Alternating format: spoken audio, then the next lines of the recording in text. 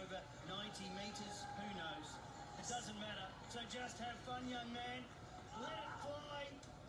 And he has let it fly.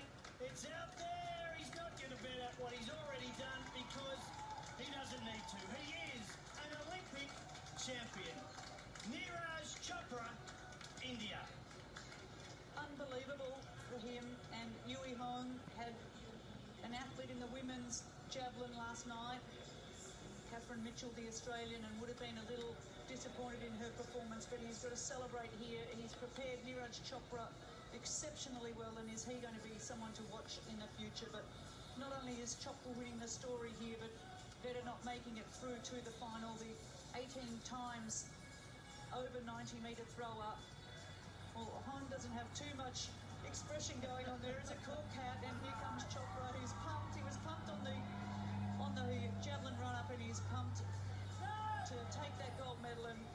the flag of India, and he'll do a little celebration. And well, does he deserve it? How nice a moment is this? It's just outstanding. 2008, Bindra on the shooting range, and individual gold medal for India, and now this man in 2020 the men's javelin throw champion, Neeraj Chopra, with an 87.58. He put it out there early. They could not catch him. He might take off again.